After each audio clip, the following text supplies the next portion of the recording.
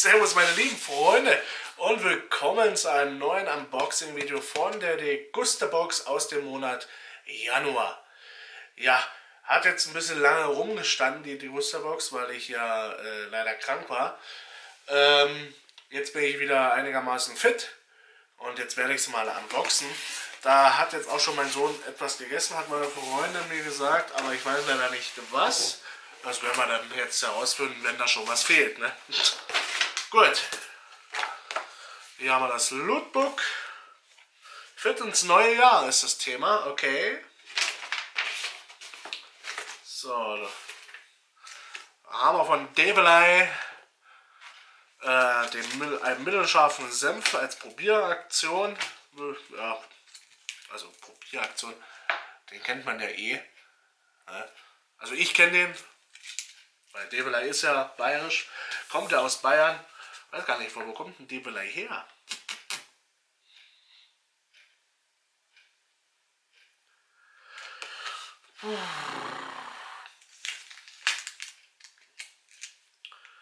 Wo kommt das denn her? Und oh, aus Unterhaching, stimmt, ist ja gleich bei mir in der Nähe.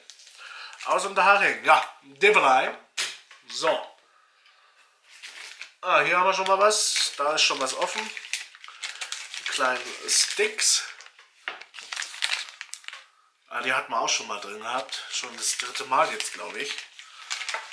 Wahnsinn. Oh, cool. Da haben wir Manna-Waffeln. Richtig geil. Die schmecken so geil. Waren zwar auch, ich glaube, die waren auch schon mal drin. Aber Manna-Waffeln gehen immer.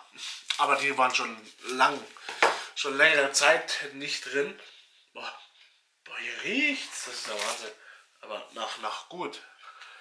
So, dann haben wir von Alpro Kokosnuss Original. Ja. Also Kokosnuss äh, Milch äh, ist nicht so meins. Dann haben wir von Develei Honig-Senfdressing, auch als Probieraktion. Oder Probierpäckchen. Ah, das, das, sieht cool aus, Honig-Senf. Dressing.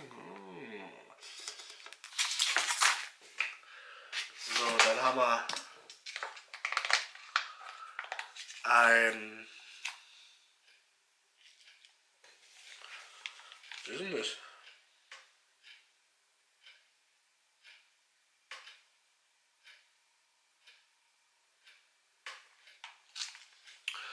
Okay, da sind Früchte, Joghurt, Früchte, Cerealien und natürlichen Joghurt ist da drin. Sowas wie für Kinder, aber ah, weiß ich nicht. Sowas mag ich überhaupt nicht. So, ein Tetrapack, so ein äh, Smoothie-Zeug.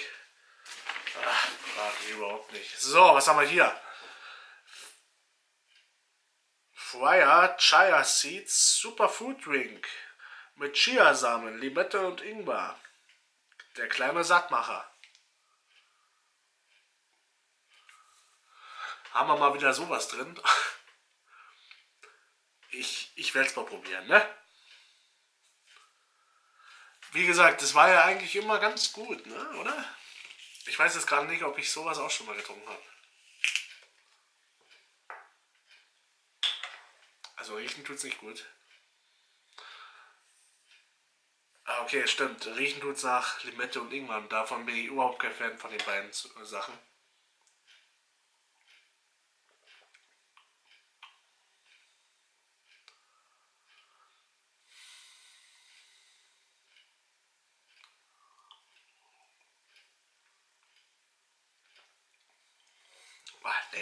Also, wenn jetzt das ein anderer Geschmack wäre, wäre es super.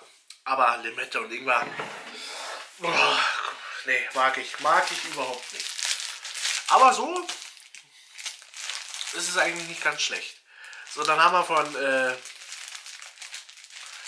Liken Urkorn, ja, ein Brot. Ne?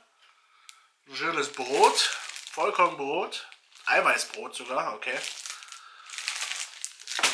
esse ich nicht, sind mir zu viele Körner drin. Oh. oh. Red Bull Sugar Free. Ich habe zuerst Red Bull gelesen und dann das, oh, wegen zuckerfrei. Aber komm, mach mal auf. Was soll der Geiz? Ohne Zucker. Also riechen tut's echt ganz normal wie ein Red Bull.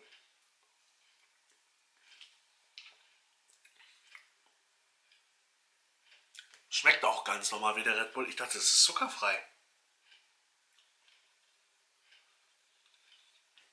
Hä? Schmeckt ganz normal. Also, wenn du jetzt so da hinstellen würdest, normales Red Bull und ohne Zucker, ich würde da jetzt überhaupt keinen äh, Unterschied schmecken.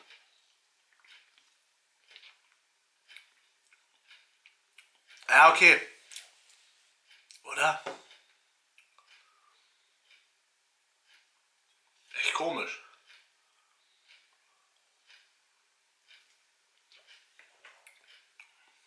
Ja, ein bisschen, wenn, wenn du runterschluckst, merkst du schon, dass da ein bisschen wenig Zucker, Zucker drin ist. Wenig. Aber ansonsten ist okay. Top. So, dann haben wir von, oh, hat diesmal Develei was ausgegeben, ha? Dann haben wir von Develei Joghurt-Dressing. Ja, auch cool. Na, so eine Sachen sind doch mal geil. Gut, der mittelscharfe Senf, das ist jetzt nicht so, aber Honig-Senf-Dressing und der Joghurt-Dressing, ja, das ist, ist, schon coole Sachen.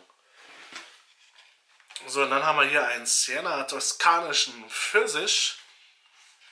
Das ist der, der so gut riecht. Von Mesma.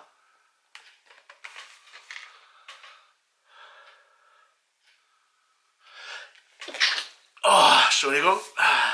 So. Ja, haben wir mal wieder ein Teechen. Was haben wir hier? Ah, hier haben wir noch eine, ein Day Up. Ich habe überhaupt keine Ahnung. Achso, da sind diese Früchte drin, die da drauf sind. Also haben wir einmal Ananas, Apfel und Banane und Kokos. Und hier hätten wir einmal Apfel, Erdbeere, Weizen und Pflaumen. Oh. Okay. So, dann haben wir hier nochmal ein äh, Becks alkoholfrei Blue. Hat man auch schon so oft drin. Becks alkoholfrei oder was anderes von Becks. So, was haben wir hier? Mr. Jim und Mr. Tom. Okay. Irgendwie gesagt mir, das war so, vielleicht kommt das aus Amerika. Hm. Irgendwie sagt mir das was. Irgendwie, irgendwas, irgendwie kenne ich das. Ja. So, dann haben wir wieder was von der Mutti. Und zwar geschälte Tomaten. Gut, was haben wir hier noch? Ah, was haben wir da? Oh Gott. Birkenwasser, Holunderblüte. Jawohl. Wofür kann ich das nehmen? Äh, wofür kann ich das verwenden? Kann ich das einfach so trinken oder? Boah.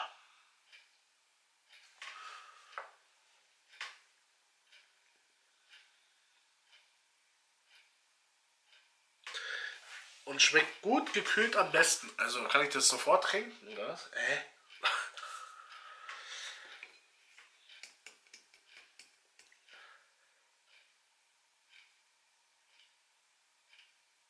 Ja, das ist, kann man trinken. Okay.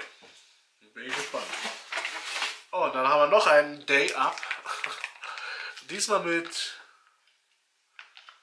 Was ist das? Banane? Auf jeden Fall Birne, nochmal Weizen, Blaubeeren. Ich würde sagen, das Banane. Boah, dann würde ich jetzt aber auch mal wirklich echt eins aufmachen. Ich würde sagen, ich mache das hier mal auf. Schauen wir das nochmal an. Äh, für alle hier.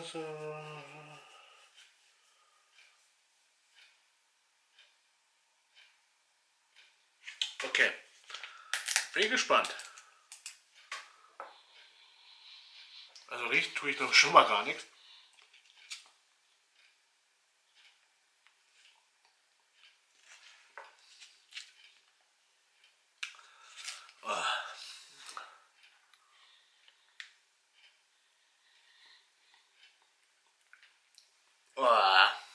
Boah, ist das ekelhaft. Also pürierte Scheiße ist das. Aber erstmal meinen zuckerfreien äh, Red Bull.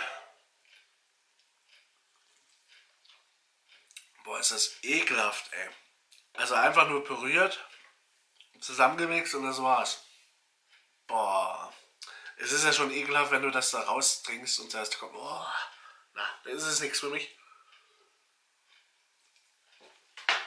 Ich mag auch nicht, es gibt auch von Fruchtzwerge, glaube ich, auch so in so einem Tetrapack, ja, von Fruchtzwerge, kannst du einfach halt dann so raus. Das mag ich schon nicht. Also ich esse es zwar, ist okay, aber oh, nee, es ist, ist schon, also ich, irgendwie mag ich das nicht so aus dem Ding da zu saufen oder zu essen. So. Das, das ist schon für mich zu ekelhaft. So, dann haben wir nochmal ein Bags alkoholfrei Blue.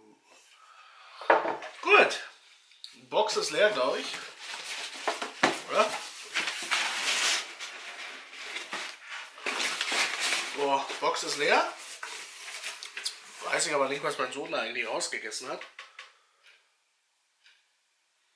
Ja, keine Ahnung. Entweder es waren die Sticks da, die Cabanossis, aber gut. Gut, dann schauen wir mal. Also die Bags kosten jeweils 99 Cent.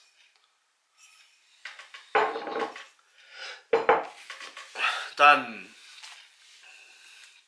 Alnatura Birkenwasser kostet 1,99 Euro.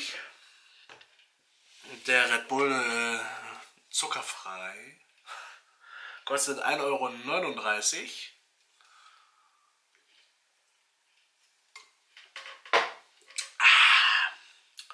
Dann Liken Urkorn Eiweißbrot kostet 2,29 Euro bis 2,49 Euro. Dann der Develei Honig Senf Dressing. Kostet 39 Cent. Dann der Develei Joghurt Dressing. Kostet 1,29 Euro. Dann die Mr. Tom und Mr. Jim Riegel also Mr. Jim kostet 59 Cent und Mr. Tom 49 Cent. Das ist das Produkt des Monats. Okay, okay, okay, okay.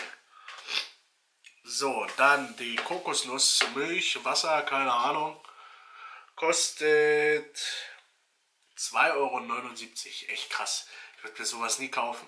Davon, davon kriege ich ja, fünf, ja, mach mal vier äh, Milch davon.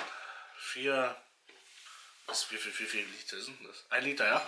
Kriege ich auch vier Tetrapacks äh, Milch. So, dann die Carbonossi Stickies. Kosten 99 Cent. Dann der Fria Chia äh, Samen Getränk. Kostet 1,99 Euro. Dann die gute Mutti. Ne, geschälte Tomaten. Da ist das Deutsche drauf. Kostet 1,39 Euro.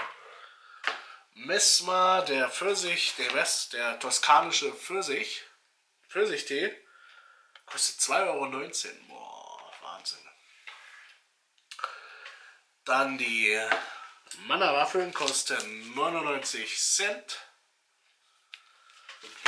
Und die drei Tetrapacks kosten jeweils 99 Cent. So was ekelhaftiges. So, und dann haben wir ein Rezept Käse und Tomaten Quiche. So schaut es aus. Und dann zeige ich euch noch den Inhalt. Einfach auf Stopp machen. So. Ja, das war's jetzt. Wenn das Video euch gefallen hat, macht einen Daumen nach oben. Achso, und ich habe vergessen, das letzte Video habe ich leider gelöscht von der Box. Also ich hoffe, diesmal lösche ich es nicht. Und ja, wenn das Video euch gefallen hat, macht einen Daumen nach oben. Und wir sehen uns dann beim nächsten Video wieder. Bis dahin sage ich, bleibt dran. Bis dann, euer Steffo. Ciao, ciao. Zuckerfrei.